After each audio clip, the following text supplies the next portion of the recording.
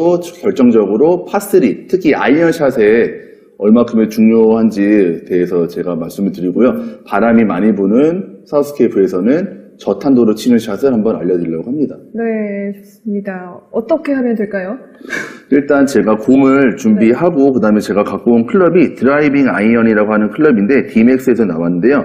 이게 도수가 생각보다 아이언에 비해 거진 드라이버 도수를 갖고 있기 때문에 치기만 하면은 공이 저탄도로 나가는 클럽입니다. 네. 그렇군요. 저탄도라는 게 구체적으로 뭐죠?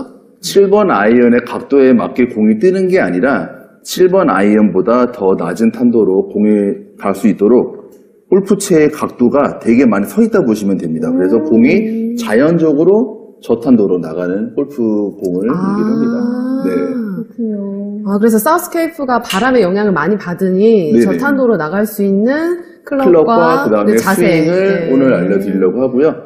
무엇보다도 드라이버도 잘 쳐야 되겠지만 온그린을 시키는 샷을 더 잘해 주셔야 버디나 파를 잡을 수가 있습니다. 그렇군요. 네네. 그러면 한번 시범 보여주실까요? 네. 제가 오늘 준비한 골프 공과 함께 퍼팅 매트에서 시범을 보- 보일 건데요.